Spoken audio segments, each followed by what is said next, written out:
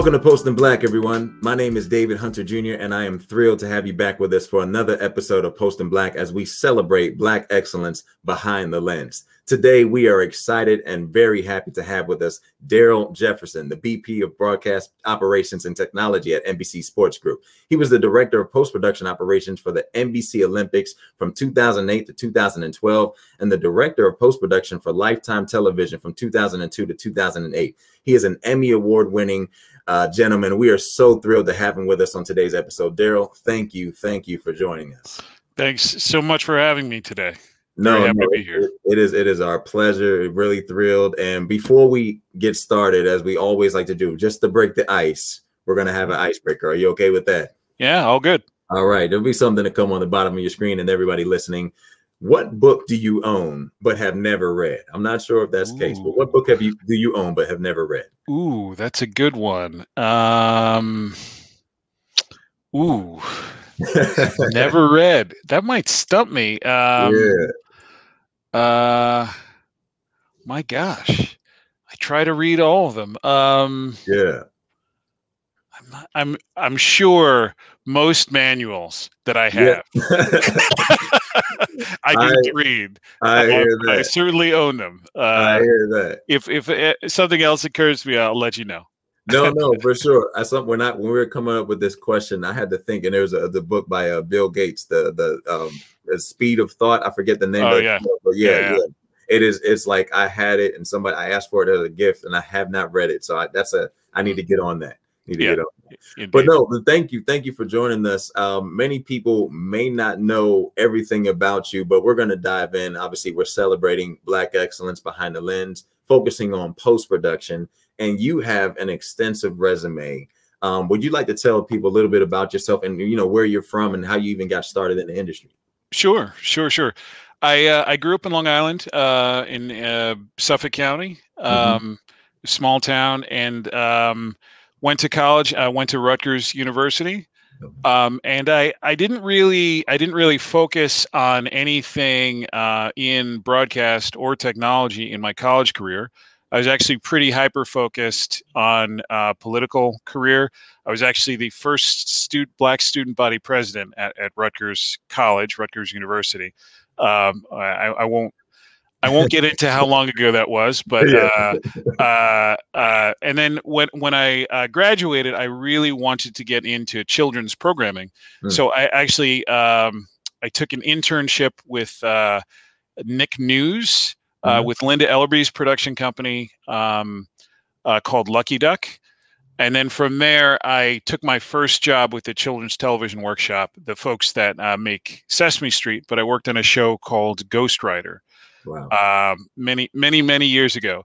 From there, I went on to do a lot of production. I started on the production side, um, did music videos. Mm-hmm. I have wild stories about all of my years of uh, Wu Tang videos and other uh, hip hop videos back in the yeah. day. Yeah. Uh, and then I went from there into feature films. Mm. I worked on a bunch of feature films, and then I I found my true calling uh, with technology. I always found myself fixing things, f- figuring out solutions for things. Mm-hmm. Um, so I ended up uh, first running a studio operation and then running a post audio facility. We did a, a lot of cartoon work. Wow. Uh, so we worked on Doug. We worked on um, Rugrats, uh, this type of thing. Um, mm-hmm. so, and some then of, some of my childhood classics. You yeah, exactly. Love that. Yeah, yeah, uh, that was a lot of fun. And then uh, I ran uh, some post houses mm-hmm. um, and started to get more and more into the technology. Uh, ultimately, I went to Lifetime Television, mm-hmm. um, and then I headed up that uh, the the group uh, that both did post production and asset management. Mm. And then I went from there, and then I started work on live sports. So I, I went from there to NBC Sports. Uh, it was NBC Olympics first. I started with the Olympics group mm-hmm. in 2008. I went to Beijing and uh, kind of never looked back. After that, I, I, moved on to every Olympic since. But mm-hmm. also uh, in 2012, I uh, I was uh, given all of the other sports to oversee post production um, for each of our properties. So football and hockey and NASCAR and all of that stuff. So it's it's been kind of a whirlwind since then. I mean, um, I mean that that is that right there, there. I mean, that is an incredible list of of titles that you've held, jobs, mm-hmm. jobs that you've you know worked on. You know, even some of the the things that I spoke to, even with the the animated shows um, that spoke to some things that have changed me for my lifetime.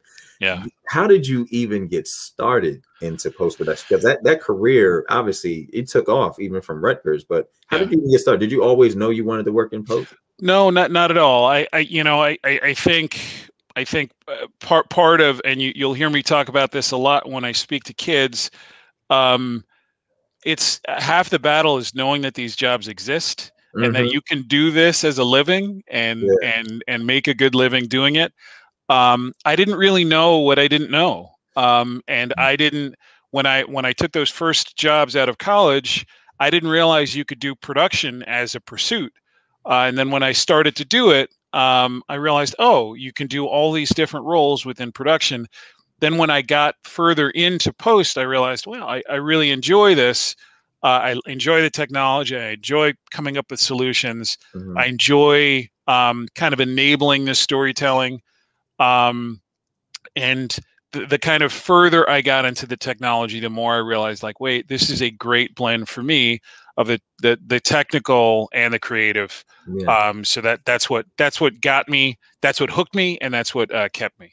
Yeah, yeah, no, that that's you mentioned something. You not not even knowing these jobs exist. You mm. know, my, my brother who started Post Black, that was one of the main inspirations for him. Being 22 years old, and people have heard this story, but 22 years old, going to a post house and being the only black person there. And mm-hmm. then he was like, everybody was much older than him. He's like, where's everybody else? And right. so he just started doing research and reaching out to people. And I, I, think we've mentioned this, but telling you one of the first people he emailed, just cold email, was Lynn Shropshire, and oh, she, ah, nice. you know, took him under his wing, under her wing, and then it was kind of on from there.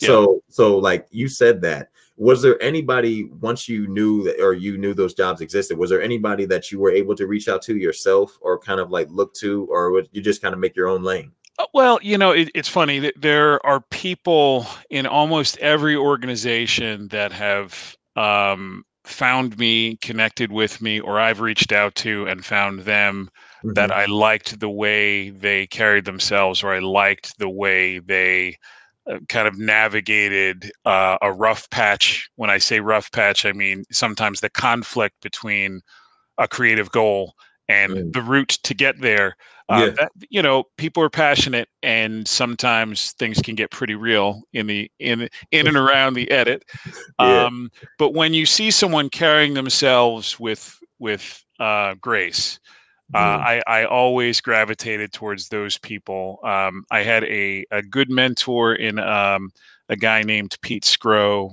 at lifetime who mm-hmm. always carried himself with grace and uh, was just a great a great friend to me and he mm-hmm. kind of highlighted the idea that you know pretty much whatever you want to do if you if you put yourself to it you will you will get there quickly so mm-hmm. uh, you know i i i think th- those folks and my in my current uh, job i have uh, and he, he happens to be my boss which is also another another thing a uh, guy named dave mazza he he has done some outrageous and impossible things with the Olympics over the mm. years mm. to expose me to, to possibility um, it, at scale when you're dealing with you know thousands of hours of content in two weeks. Yeah, uh, it's daunting. It's very yeah. daunting to to to think about. Uh, and um, I don't know, see, seeing those those folks uh, again under pressure with grace is is an inspiration to me under pressure with grace i love that i love that now I, I did watch an interview of yours where you talked about working on the olympics and i believe they were throwing out some crazy stats mm. uh, like 750 hours and like 18 days of content mm. you know I, I, I don't even i'm not in post but i came into the industry as an actor and a writer Mm. And so my, me knowing a lot more about post because of my brother and all the interviews and you know post houses I've been in, I know that 750 hours is a lot just in life, but but you did that in two weeks. Talk. Can you talk yeah. about your your day and your schedule with when it comes to the Olympics and how the even getting sure. that job came about? Yeah. Um, yeah. So so the Olympics, I, I, always describe as you know, you, you think of your your worst possible day, um, and then you multiply that because you have, you know, not one event to carry off, but maybe at worst 30 events to carry off on on a single day. So we do have we will we'll have around 4,000 hours of content. Mm. Um, over the course of 18 days. Mm. Um, and it's just a lot to to tell bring the stories of import to the fore to tell the right stories to really hook you know uh, young people and and older people alike um, it's just a lot to do over that period of time mm-hmm. the way i got started uh, i was certainly lower in the totem pole and there had been um, folks that had been with the olympic group I often des- describe us, uh, and I say this lovingly, mm-hmm. as circus folk, because very much like a circus, you roll into some country, um, don't know anything, you set up shop, and you basically build a broadcast center, mm-hmm. and then beat the the living nonsense out of that broadcast center for for a couple of weeks, then pull out of there and act like nothing happened, right? Yeah. Like, yeah. Uh, uh, so those folks have been doing it for a long time. I was the uh, the whippersnapper of the group, but um, once you kind of get one under your belt and you understand the size and scope of the event, it's mm-hmm. it's really addictive. Um, yeah, okay. I find, um, and, and it's it's you know you you you get a chance to meet and talk to these young athletes, and you realize it's it's our responsibility to tell their stories, mm-hmm. and when you get them coming off of the track or getting out of the pool or whatever whatever field of play they're on you realize like this is not a fabricated moment. You are seeing the absolute real emotion. This isn't a produced moment. They are happy. They are dejected. Whatever emotion they're they're you're you're you're taking in that history and they've worked this their entire lives for this moment. It's such a responsibility for us to tell their story um, their full story mm-hmm. uh, um, and and bring that home to the American uh, public. Um, that that for me is the the mantle responsibility. That's what turns me on yeah. about what about what we do, what we can, how we can describe someone's story with uh, with something technical or or maybe you know give them a little uh, little taste of how they got there. This type of mm-hmm. thing.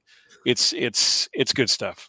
No, that, that's powerful, and, and I could hear the excitement. And for those of you watching this episode, you can see it in in how you talk and describe it. You know, something for me that that that comes to mind is all the work that has to go into play because we talk to various people who are editors and working behind the scenes on documentaries or doing this on um, ads or or TV or film. What is the preparation like for doing something like a live event? and editing and putting that together because I know you, you there's a lot of different work that are you know things that go into that. Yes, what well said. Um, yeah, so we we plan months and months and months mm-hmm. um, mm-hmm. in advance, almost a year and well, almost almost 15 months ahead ahead of time. Uh, we ship um, between 150 and 200 big sea containers to mm-hmm. that um, that city. Those big, you know, those big uh, yeah. I want to say barges. Yeah. For, somebody uh, that doesn't know what a big what the big containers are, what what is that? If they're watching, they're saying, "What is he talking about?" Yeah. So uh, I'm I'm trying to think. Like you see them in action movies when they when they go on some industrial barge, right. and they're these gigantic sea containers. Yeah, yeah, yeah. That that for us are loaded with electronics that we uh, pre-configure, that we pre-build, that we pre-wire, and slide them into those sea containers, along with our office furniture, along with our personal effects, this type of thing, and they're shipped by barge to the the next port of call. When we get there, we have to, you know, rewire everything up, connect everything, um, and hopefully we we pre-configured it as much as we can um, because you know when you get into all these countries, there's different foibles and different mm-hmm. Details uh, for Right. every country. So you get there and uh, reconnect everything up and, and go from there. Yeah. Um, but that's um, it's years in the making. Each games is years in the making. Mhm. Um, but that the process of building, configuring, shipping is about 15 months. Uh, but for this for this year, it's interesting because of the the COVID circumstance. Um, the the games is postponed till this summer in 21. But that means for the first time for any broadcaster, we're actually producing two games within six months of each other. We have the summer games in Tokyo, and then we'll have a winter games um, in Q- Q1 of 22. Um, so um, it's it's a lot, and in the middle of the games, we'll also do a Super Bowl. Um, so it's I uh, mean, it's a lot. Yeah, it, it's a lot. It's a lot, and I guess a, a question. You know, this is kind of a seg, a, a break in between the editing. I'll come back to it. But Mhm. what what is a what does a, a work life balance look like for you? Because this is a commitment. This is a it's not a not just a commitment. It's a life, a lifestyle. yeah know what I mean? it's it's yeah no it, it's it definitely true i you know during the big events like the olympics i am generally within in that host country so i'm often away from my family for a good deal of time Mhm. uh, i'll be in tokyo for two a little over two months Mm. um, and then again for Beijing for probably a, a same period of time. Um, for a Super Bowl, you're away for a few weeks. Yeah. Uh, that they're happening concurrently. I have to figure out how how to be in both places at once. Right. Right. Um, but honestly, it's it's it's the honor of a lifetime to be able to kind of, you know, see see the world. In some cases, like my wife's been able to join me on uh, in different ports of call. You can kind of, you know, uh, as it says in the brochure, you see the world, uh, and and and uh, and so on. Um, but it is difficult. There there are definitely long days. Sports. Um, uh, being involved in sports production is tough because when most people are resting and kicking back, you're in high gear, right? High Every gear. weekend, Yeah. every weekend, when everyone else is having that beer on the couch watching the game, you were Yeah. sweating it out uh, Yeah. on, uh, on the truck or in the broadcast facility, making that game possible. So it's Yeah. it's uh it's it's chal- the balance is challenging in short, Yeah. but I I don't know based on all of my friends in other industries, I don't know that it's any better uh, no, in, yeah, in, in, in most places nowadays. I Yeah. would I would say I- on I'm on a much lower scale, but uh, for years in LA, I worked as a, a tour guide at the at the Kodak Theater, Dolby Theater, but I Mhm. did voiceovers, and so my boss um, allowed me to like work in the capacity at the Oscars. So I did the voice of God for the Oscars Oh, for the wow. theater. So Nice. when you talk about people sitting at home and watching, uh, you know, as an actor, I want to watch too, but like I was literally working, and it's you know months, weeks in advance doing all of that prep, and then when the show is live and happening, I mean, you're enjoying it, but you're not really. You're just like, when is our next break? This is commercial. Here's there. So I can only imagine what's on your plate. Uh, I, I had a small napkin. You had a full plate. you had a full plate. Um, you know, I, I want to touch on something too because again, we we do call it post in black, but just I don't think speaking my personal experience and to may be ignorant, but I don't know if I ever knew that there was a possibility that a black man or a black person in general would have the type of responsibility for the Olympics, you Mm. know, that you have. What Mm. what what is that like? And have you seen, you know, are, are there others like yourself who we just aren't aware of, or you know, how is that working in that field, being the one with so much responsibility, so much power, and then carrying the mantle of being a black man in this industry? Yeah, it, it's a it's a challenging thing. Uh, I I you know the, the thing I, I try to do is reach out and mentor. uh, I, I I will say this. Um, I generally reach out to all of the others, uh, uh, and not not just ones that look like me, but you know, Right. getting more women involved, getting more Right. people in color in general involved. I right. spend a lot of time mentoring and coaching. Um, I make it abundantly clear um, to coworkers and colleagues alike that um, they will get the truth from me, uh, Yeah. regardless of how convenient. Yeah. Uh, but they will also get an honest ear, or if they need a sounding board, need help navigating a situation. Mm-hmm. Um, I try to bring that grace um, myself, but I also sometimes you just need to let people know that you're there, that you're a mm-hmm. resource, mm-hmm. and that they're not alone. Yeah. Um, it's it's the biggest thing, and so many of the athletes. I remember being. I, I, apologize because over time, all the Olympic cities kind of meld into one gigantic city because you mm-hmm. can't remember where was I when, when I was at a Winter Games in one of the um, there uh, speed skater. Um, uh, he and I um, uh, made eye contact down the hall, yeah. and we approached each other um, and there was real recognition i was seen he was seen mm. um, and there's there's so many moments of that when you see one another out there mm-hmm.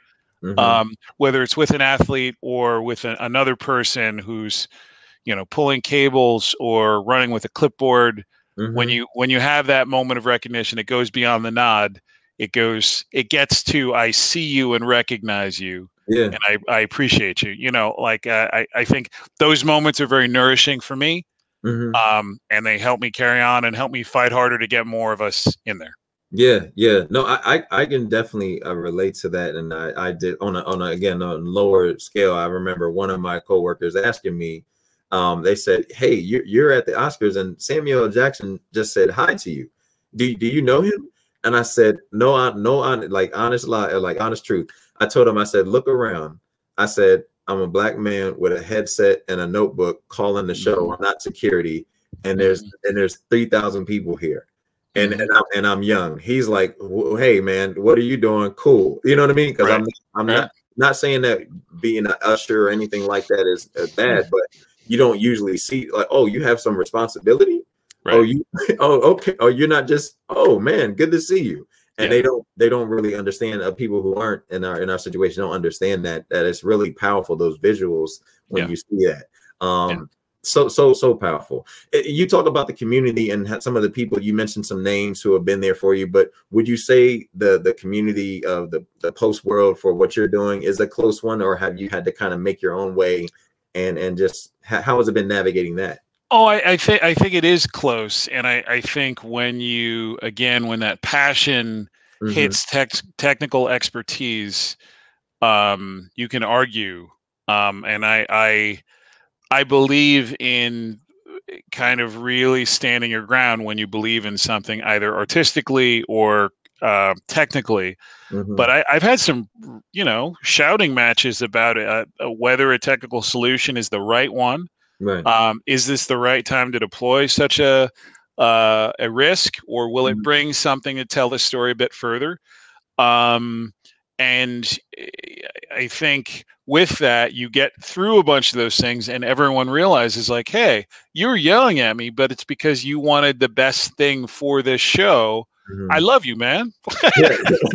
right? You know, and it, it gets real fast. Like, oh, yeah, we were just yelling, but that's that you got 100% me i got yeah. 100% you there's nothing but love here you know yeah uh, i think that brings that co- the community together i will also shout out um, i'm a co-lead of the black employees network at um, at nbc sports group okay. um, and there's a tight knit community of black people working in that building um, and throughout the country at our regional sports networks. Mm-hmm. I can't tell you, like this past year, I don't know that emotionally I would have gotten through it if it weren't for some broad shoulders of yeah. my brothers and sisters around the, the organization. Because you can, again, you can let it go and you can yeah. you can be, be be real with your family um, yeah. and it's it's it's special it's necessary. It's necessary. Those, those, moments just to breathe, like you're saying, is you know we have to kind of let it out sometimes and have somebody understand you and not you know think oh Darryl's losing it. Oh, he's going, he's mad. It's like you can say something and be frustrated, and they're like, "All right, cool, let's get a coffee." You know what I mean? And you know, it's just you know, water off the shoulders, water off the back. It, in terms of people that are coming into the industry, because there are a lot of young people who are looking at the entertainment industry and saying, I don't know what I want to do, but I know I want to be in that field. What mm-hmm. the selling point to say, hey, you need to come into post production? This could be an opportunity for you to have a lifetime. Uh, you know, obviously it's hard. It's still about relationships. You still have to do the yeah. work. What What's the selling point to say, don't don't leave that and come over here? Yeah, I, I think it, it comes down to authentic storytelling, right? Mm-hmm. Like for for so many generations, we rely on others to present the tools to tell our stories. Mm-hmm. And there's an opportunity here to get a whole lot more voices in the room and tools uh, and perspectives to tell stories of people from our community, people outside of our community, and so on. Um, and I, I, think it's it's really a, a, an open and welcoming community to mm-hmm. new voices, and you won't find that in every community. Right. Um, so I, I I would I would say, and because video is such a medium today between the social aspect and you know uh, all the social outlets and so forth being skilled at cutting video mm-hmm. is a, is a skill that um, serves one well as a calling card serves one well um, gaining gaining attention this type of thing I, I think it's a, a, great place to be I, I i agree with you i've learned so much again just you know, shadowing my brother from early days, 2008, 2009. And I was going into houses. And I remember he was telling me, he said, you know, I'll watch everything that you're in as an actor, but if it sounds bad or the editing's bad, I will not, I will not support it. And I was like, right. okay. So he, yeah. he was clear about that. Um, yeah. obviously we, you have dropped so much knowledge and insight today, and we really thank you for your time. Again, you mentioned you're working on the Olympics. Is there anything else that we can um, stay up to date with what you're working on and where can oh, stay in yeah. contact? Yeah, absolutely. Um, we'll uh, we're in the middle of hockey season now, and we're doing a whole lot of golf production. Um, we have a Honda Classic coming up next weekend.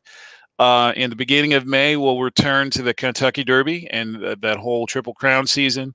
Yeah.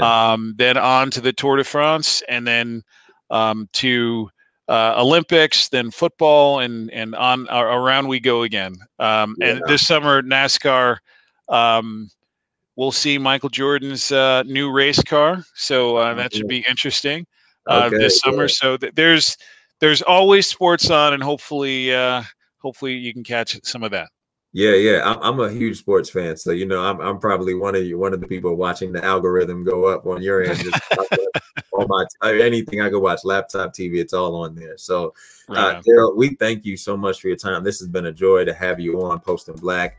Uh, for those of you tuning in, whether you're listening on our Spotify or Anchor, wherever you're listening or watching, please stay tuned for new episodes of Post in Black. Make sure you follow us on all of our social media channels at Made for More Entertainment. And we thank you again for tuning in. We'll see you next time.